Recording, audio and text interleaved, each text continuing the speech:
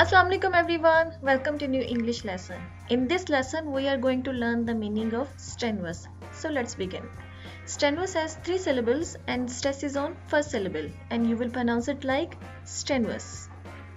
Strenuous. Repeat after me. Strenuous. Strenuous. And it means an activity that requires great energy or effort और इसका उर्दू में मतलब होगा सख्त मेहनत।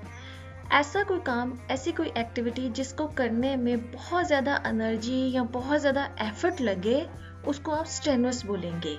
अब ये जो एनर्जी और ये जो एफर्ट है, ये मेंटल भी हो सकती है और फ़िज़िकल भी हो सकती है। किसी किसी भी एक्टिविटी को करने में अगर आपकी बहुत ज़्यादा मेंटल एनर्जी लग रही है, बहुत ज़्यादा मेंटल एफर्ट लग रही है तो उसको भी स्टेनस बोलेंगे और कुछ कामों में आपकी फ़िज़िकल एफर्ट या फ़िज़िकल एनर्जी बहुत ज़्यादा लगती है, जैसे कि वर्कआउट वगैरह। तो उसको भी स्टेनस कहेंगे। तो ऐसा कोई काम जिसमें बड़ी सख्त मेहनत लग रही हो, चाहे वो सख्त मेहनत मेंटल हो या फ़िज़िकल हो तो वो स्ट्रेनुअस कहलाएगा। स्ट्रेनुअस एक एडजेक्टिव है और इसका नाउन होगा स्ट्रेनुअसनेस और इसका एडवर्ब होगा स्ट्रेनुअसली और इसके सिनोनिम है difficult hard let's see some examples our first example is A strenuous workout may cause injury sometimes.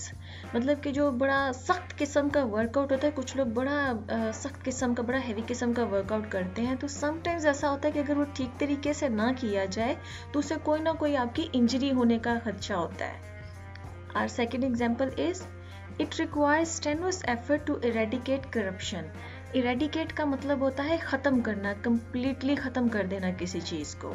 तो इस सेंटेंस का मतलब ये होगा कि करप्शन को ख़त्म करने के लिए बहुत ही सख्त किस्म की मेहनत की ज़रूरत है।